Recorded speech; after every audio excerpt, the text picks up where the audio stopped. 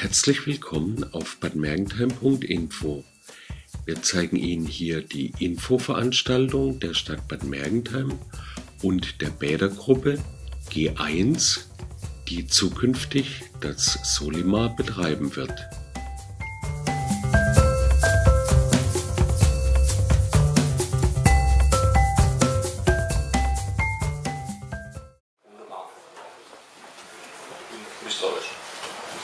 Jetzt ganz klar.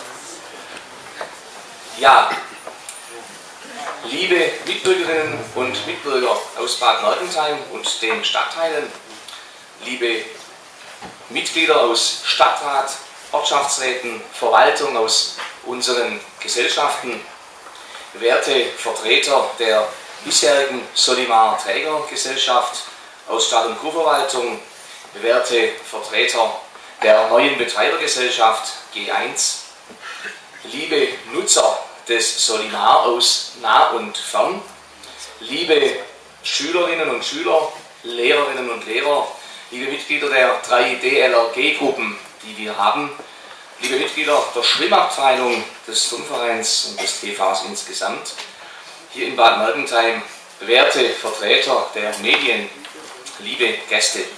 Sie sehen schon allein der äh, lange Vorspann der Begrüßung, wer alles da ist, zeigt, wie groß das Gremium ist des heutigen Abends und Sie, die Mitbürgerinnen und Bürger, Sie sind die wichtigsten. Deswegen ganz herzlichen Dank für Ihr Kommen. Die große Zahl in unserem Stadtgarten zeigt doch ein großes Interesse an der aktuellen Diskussion rund um das Solimar. Sie wissen, die erste Konzeption wurde der Öffentlichkeit im April dieses Jahres im Kulturforum vorgestellt. Seither ist einige Zeit vergangen, die Pläne wurden weiterentwickelt und seit meiner Wahl und Amtseinführung als Ihr Oberbürgermeister gab es wirklich richtig viele Anfragen zum Thema Wellness, Sport und Freizeitbad Solimar. Mir war schnell klar, die vielen Gerüchte, viele Vermutungen, die sind zumindest teilweise zurückzuführen auf offensichtlich zu wenige Informationen und natürlich auch ähm, über, den Streit, äh, über den Stand der Planungen wäre es äh, wichtig zu berichten. Was ich ebenfalls bemerkt habe, es gibt in dieser Stadt, und da müssen wir ganz offen und ehrlich zueinander sein, auch unterschiedliche Erwartungen, wie die Zukunft eines solchen Bades gestaltet sein könnte, je nachdem, aus welcher Vorerfahrung der einzelne Badegast kommt. Deshalb habe ich den runden Tisch angeboten gehabt, um zunächst mit den organisierten Nutzern des Sportbads das Gespräch zu suchen, weil das die Gruppe ist, die eben auf den Sportbadbereich besonders fokussiert ist. Ich wollte dort einen einheitlichen Gesprächsstand bekommen. Das war am 4. Juli 2011 im Rathaus und in der Priorität möchte ich auch hier klar sagen, hat das Bad ja für die organisierten Nutzer zunächst mal zuerst die Schulen im Blick, um den Schulunterricht zu gewährleisten, dann die äh, 3GLAG-Gruppen, um äh, Schwimmunterricht zu geben und auch die, die Ausbildung als äh, Rettungsschwimmer zu erfahren und dann eben die Vertreter und die Schwimmer der Schwimmabteilung, die mit großem Engagement ihren Sport betreiben, für die Stadt schon manchen schönen Erfolg eingefahren haben und beim Erfolg, da treffen wir uns dann wieder alle, weil das finden wir ja auch schön. Diese Veranstaltung im Rathaus hat auch gezeigt, dass äh, nicht mit einem Gesprächsabend alle Themen ausgeräumt werden konnten, hat uns aber zumindest die Chance gegeben, ähm, zu gucken, wo können wir was zusammen hinkriegen, einen zeitlichen Fahrplan zu entwickeln. Und eines der Themen war eben heute diese öffentliche Veranstaltung zu machen. Ich möchte es nochmal zusammenfassen. Dort stand das Sportbad im Mittelpunkt, weil es um die organisierten Nutzer geht. Heute soll das nicht ausgeschlossen werden, aber heute soll auch der aktuelle Stand des Solimar in seiner jetzigen Planung Ihnen, der interessierten Öffentlichkeit, vorgestellt werden. Das heißt, über das Sportbad hinaus geht es eben um das Gesamtprojekt Solimar, um unser Bad mit seinen Bereichen Wellness, Erholung, Sauna, Spa, Freizeit und was wir alles eben auch im bisherigen Solimar schon ähm, gekannt haben. Die Frage ist, was entsteht nun vor unseren Augen? Und deswegen noch ein kurzer Blick in die Frage, wie ist der Abend gedacht, damit wir jetzt sehen, auf was wir uns einlassen. Da kommt jetzt ein kleiner Überblick in den Ablauf. Ähm, ich würde noch ein paar weitere Worte zur Einleitung verlieren wollen, weil ich denke, ein kleiner Blick auf das bisherige Geschehen ist wichtig, um uns zurückzuerinnern, in welcher Situation wir stehen. Dann das Spannendste, das Wichtigste aus meiner Seite, das, äh, deswegen sehen Sie auch im Hintergrund des Raums die Pläne aufgehängt, dass wir den aktualisierten Stand der Planungen vom künftigen Betreiber G1 präsentiert bekommen. Das ist deswegen wichtig, weil es ein paar Änderungen gegeben hat zu den ersten Überlegungen und ich denke, diese neuen Möglichkeiten bringen noch eine flexiblere Nutzung des Bades und seiner Einrichtungen und das wäre aus meiner Sicht ein wichtiger Punkt. Wichtig ist aber, glaube das sehe ich aus den vielen E-Mails, die mich erreichen, wie funktioniert eigentlich die Übergangszeit. Wenn man die Diskussion in der Stadt anhört, dann hat man manchmal das Gefühl, die Leute glauben, übermorgen wird Bad zugemacht und nächstes Jahr geht es dann wieder weiter. Die Wahrheit ist, es ist ja noch lange, lange auf. Und genau der äh, Sportbadbereich, wo es um das Schwimmen geht, ist genau so konzipiert, dass wir den Schulunterricht, den Schwimmunterricht, äh, die Vereine ihre Tätigkeiten hier aufrechterhalten können. Das ist für mich ein ganz wichtiger Punkt. Aber auch da gibt es natürlich äh, viele Fragen und Unsicherheiten, wie dieser Zeitraum gestaltet ist. Und deswegen möchten wir auch über diese Übergangszeit berichten. Anschließend gibt es dann nochmal einen Part von G1 zur Frage Nutzungsmöglichkeiten insgesamt in der Vielfalt, weil man das äh, vielleicht in der Einführungspräsentation nicht alles erzählen kann. Und dann kommt der Teil, wo wir gespannt sind auf das, was Sie spannend finden, nämlich die Fragen, wenn es Fragen gibt, ich gehe davon aus. Und zwar dachten wir, damit auch wirklich alle zu Wort kommen, machen wir den ersten Block, dass äh, jene unter uns, die das Komplettangebot des Bades im Auge haben, äh, den ersten Part bestreiten für eine halbe Stunde und anschließend jene, die den Schwerpunkt Sportbad im Blick haben, dann die zweite halbe Stunde bestreiten. Und weil zu dem guten Ende einer Veranstaltung oder auch zu dem offenen Ende einer Veranstaltung am Schluss ein Ausblick gehört, gibt es einen Fahrplan für die nächsten Schritte wo wir dann hoffentlich alle etwas schlauer heute Abend aus diesem Saal herausgehen. Keine Angst, jene unter Ihnen, die sehr diszipliniert darauf achten, dass sie auch frühzeitig nach Hause und ins Bett kommen, weil sie morgen früher fit sein wollen. Wir haben als absolutes Ende für die Gesamtveranstaltung 22 Uhr gesetzt. Ich habe für mich auch einen zeitlichen Rahmen der trotz Diskussion dieses ermöglicht und deswegen für die beiden Diskussionsgruppen Nutzung Gesamtbad und Nutzung Sportbad möchte ich jetzt nochmal darauf hinweisen, das geht dann jeweils maximal eine halbe Stunde. Auch wenn es spannend wäre, das dann länger zu machen, möchte ich allen von uns die Chance geben, dass wir bis spätestens 22 Uhr den Schluss der Veranstaltung erlebt haben. Soweit dieser ähm, Einstieg in den Ablauf.